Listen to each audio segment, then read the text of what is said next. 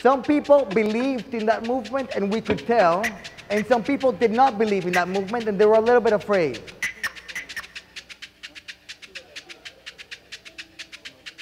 I want everyone to believe because if you don't believe in the movement, then the next person will not believe either. Opening room for reconciliation, opening room for respect and mutual coexistence among people of diverse uh, culture, faith, religion, and many more others.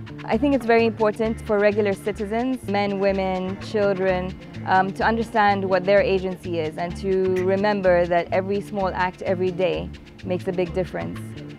We have two mosques and then we have three churches. We're going to paint them in yellow.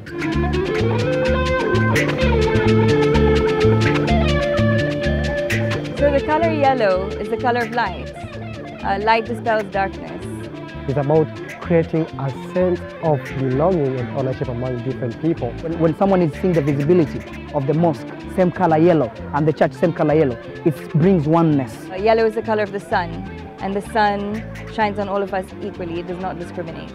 Tunafanya kazi ya community ili kurudisha upendo kati ya Waislamu na Wakristo. People learn to work together and also to live together in peace.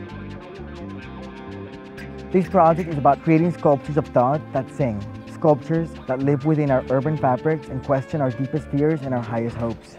Umuhimu wetu ni kujenga amani, sote tuwe kitu kimoja, usiwe na ubaguzi wa rangi wala wa ukabila.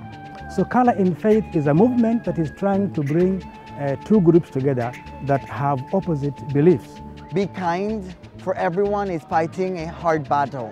We all deal with different challenges. I believe and I imagine that we are all part of each other's armies, fighting day to day to improve and better the way we feel in the world. I'm very excited about this, yeah, because to be a part of this is like to be a part of history.